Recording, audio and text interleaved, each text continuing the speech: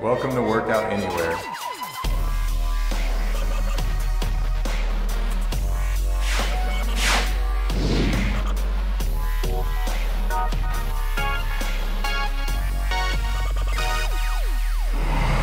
Alright, welcome back to Workout Anywhere. We are Team Rundle Fit, and I'm Coach Justin Rundle. And I'm Coach Jessica Rundle. And today we have a very special AMRAP for you. It says many rounds as possible, and beginners are doing 10 minutes, uh, intermediate 15, and advanced are doing 20.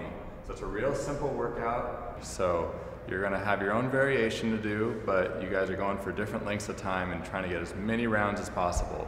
So the first exercise we're gonna do is the side-to-side push-ups, and that's for the advanced level. So Jessica's gonna show that. I'm gonna show the push-ups for the intermediate, just basic push-ups. And you're doing that 10 times. So beginners, you can still go from your knees.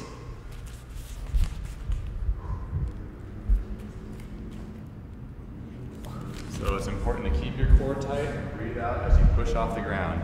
So you guys are doing that 10 times. Next exercise is squats and squat jumps. So Jessica, for the advanced version, is showing the squat jumps. I'm gonna show the squats for the intermediate Okay.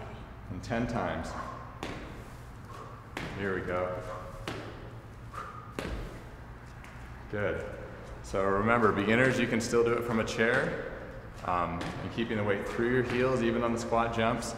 And on the suspension trainer, you can do that as an alternative to the chair squats. Good. So 10 of those. Now we're to do 20 bicycle crunches. So Jessica's to do the full bicycle. I'm going to do the beginner version.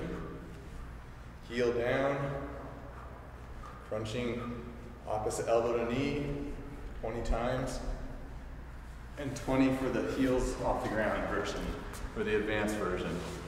So last exercise is marching and high knees. So marching is the beginner version, 20 times. Jessica's gonna do running high knees 20 times. And for intermediate, you can just pick up the pace somewhere in between high knees and marching. Good. Okay, so that's just all there is to this workout. There's only four exercises, but you're gonna try to do this as many times as you can within your time frame. All right, we need to stretch, don't we? Yep. Always So end the workout with stretching. We're gonna actually do side steps. So we're just gonna bring our arms out and back.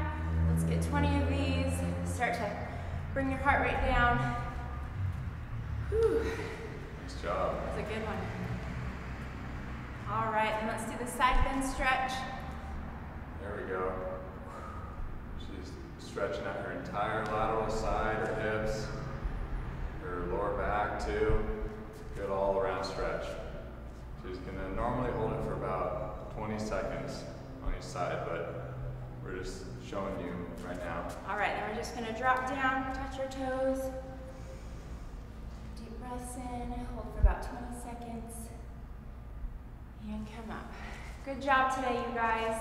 Yeah, great job, guys. Keep it up. We'll see you guys next week. Remember to comment your score, how many rounds you made through, but always have good technique and form with that. So it You doesn't guys- really count without good form. Yes, you guys rock. Okay, see you Yes, guys later.